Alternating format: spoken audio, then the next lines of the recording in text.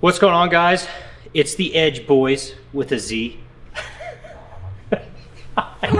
What's going on, everybody? It's JP and Alan with Edge Autosport. Thanks for joining us today. We're doing an awesome video, uh, one that we've been wanting to do for a long time with the XDI fuel pump.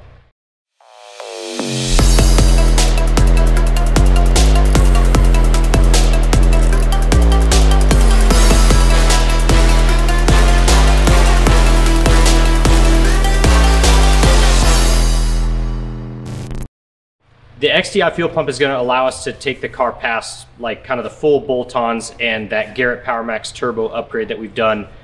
It's going to take us to the next step uh, of power without upgrading to a turbo. So as we've told you before, we're going to do bigger turbo upgrades on this car, probably multiple bigger turbo upgrades.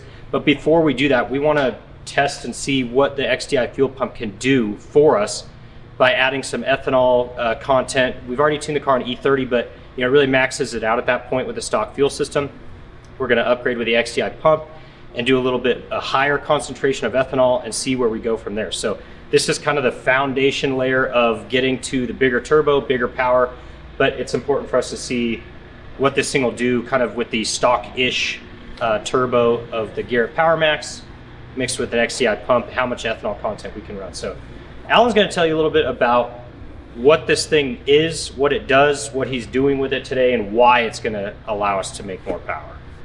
So this is the XDI Evo pump, and XDI actually has a really good video on their YouTube channel, which we'll link in the description, uh, that goes into a lot of detail about the Evo pump and comparing it to the XDI 35, which is the smaller version of the pump or the less output version of the pump.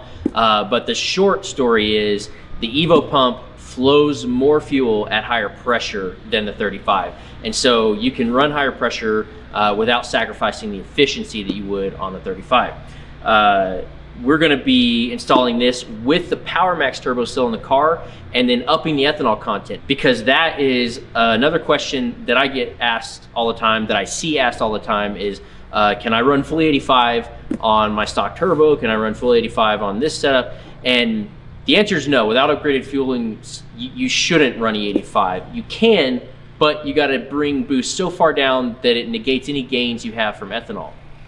So in order to actually see what is left on the table by running higher concentrations of ethanol, uh, we can put this on the car and then start adding more and more ethanol and see how much more power we can get. Because right now at our altitude, the turbo's maxed out. We can't get anything more out of the turbo, no more boost. So it's all gonna come, any power we get is gonna come from the ethanol content and maybe a little bit more spark advance, um, which we will be able to run on higher ethanol contents. So we're gonna get this on the car and then we're going to try to answer some of these questions and kind of see what gains we can get on a stockish turbo. Uh, and then, of course, in the future, like JP said, we've got other turbos we're going to be installing. Uh, and also in the future, we will be installing the XDI injectors as well on this car.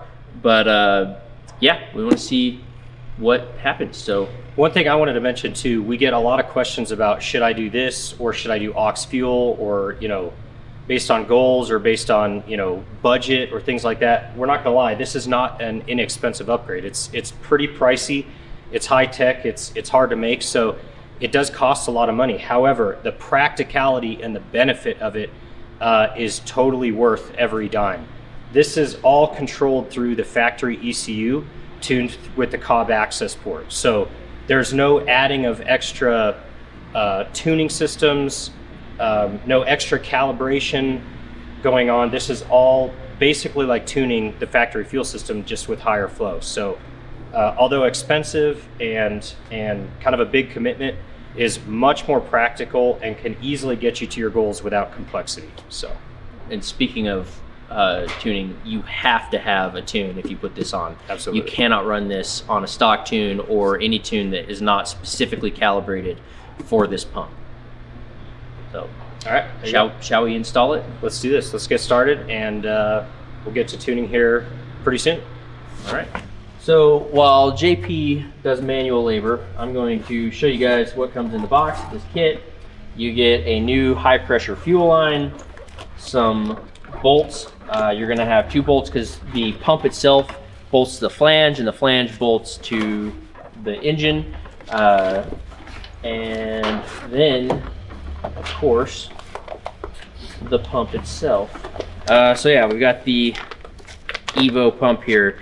And when you're installing this, you're gonna have to orientate it because the flange goes on first, this is kind of second, uh, and you have to make sure you bolt the flange down first and then you rotate it so the pump lines up and then you bolt the pump down to the flange.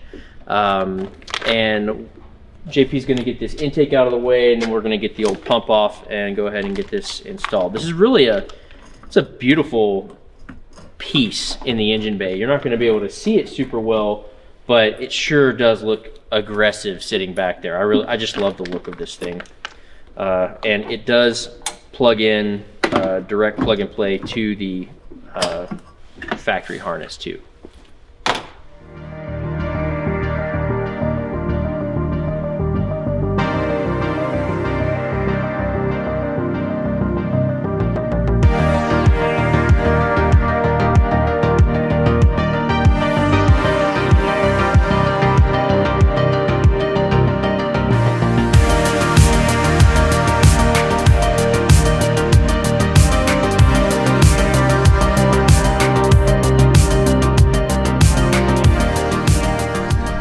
So it's suggested that you check your cam follower and make sure that there's no uh, wear or anything on it while you've got it out.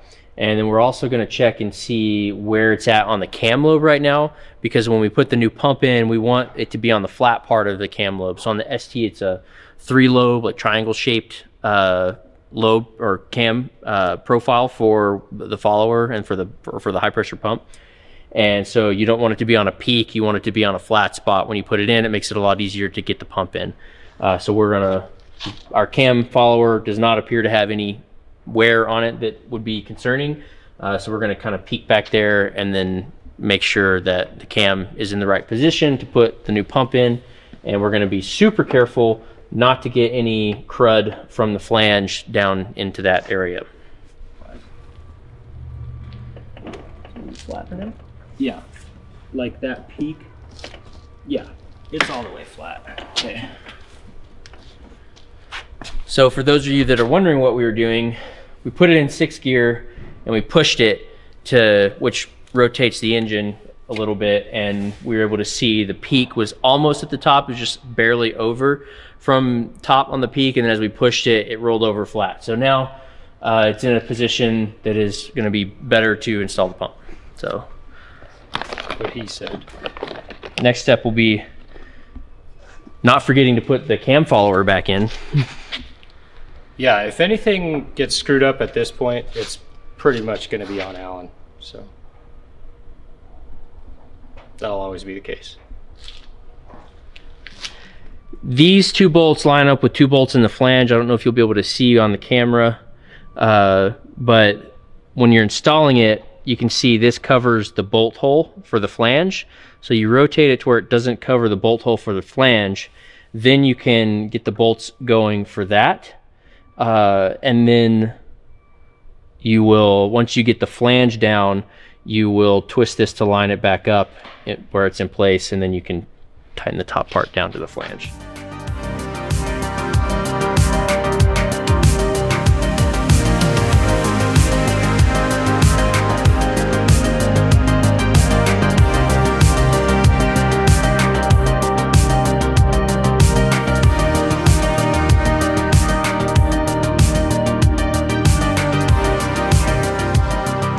Okay, so as you can see, we've got some gap here. That's because this is sitting up on the spring and we've just got to take that tension up by tightening this down. Uh, however, uh, we need to do a quarter turn at a time per bolt to do it evenly. So I'm just gonna kind of do a little 25 or quarter turns here on each one and repeat until we have it all the way down.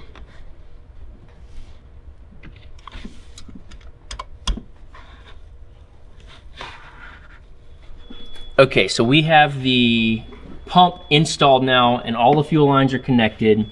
And one more little tidbit uh, is installing this fuel line. Uh, we ran it underneath these hoses and then up, uh, up and around to the back. We had to rotate this all the way because we were originally trying to put it on with the plug side over here, but that interferes with the cam sensor. And so we rotated it this way and then the fuel line, everything lines up perfectly and you're able to get it back there. It's kind of a tight fit. And when you're installing this, you wanna make sure that you can thread this on by hand up to the point that it's like, not like torque tight, but, but tight um, because uh, that lets you know that it went on properly. Otherwise, it's possible that you'll have a fuel leak there. And so we'll find out here in a little bit when we start the car if I threaded it on properly. um, but for now, we've got the low pressure line connected. We've got the pump plugged in. We've got the cam sensor back on and plugged in. We've got the high pressure line going down the back and then underneath uh, to the fuel rail. And I'm gonna go get my laptop and start um, uh, putting uh, or adjusting the map for the new pump and JP is going to start putting this back together. So have fun. Fucking guy.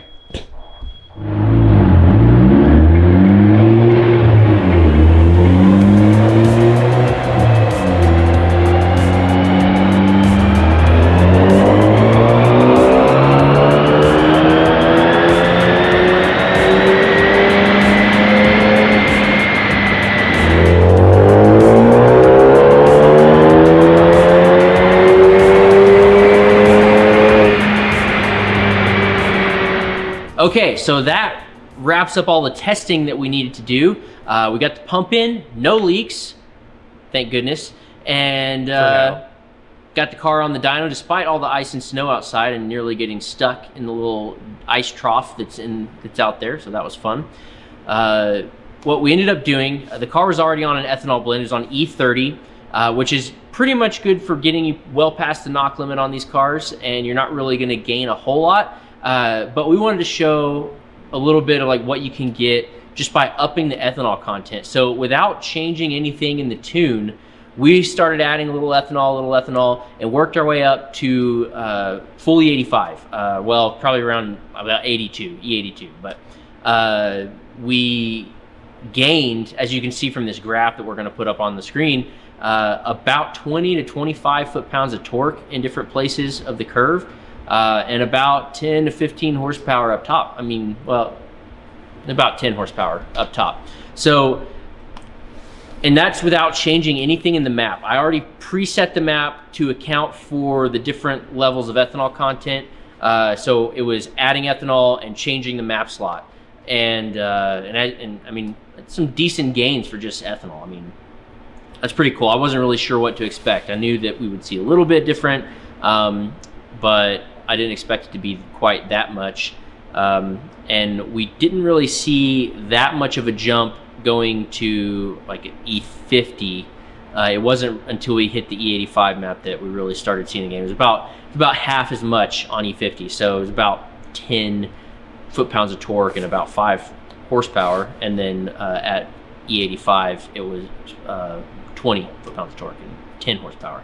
Um, so yeah, I mean, that's pretty cool. I mean, that's something that I've never actually got to test before. So, uh, and the XDI pump let us do that. So, yeah. So ultimately, you know, the pump is we were super excited to get this thing on the car and just see what it did by itself. Just like what difference does an XDI pump make on a mostly, you know, a, a full bolt-on type of of modified car with, you know, a slight upgraded turbo. If anything, for us, this turbo is almost like putting a stock turbo at sea level for us. Kind Yeah. of, kind of, sort of. But yeah, regardless, it's a fairly stock-ish uh, type of turbo as far as power output goes. So um, it's cool to see what just the pump alone does.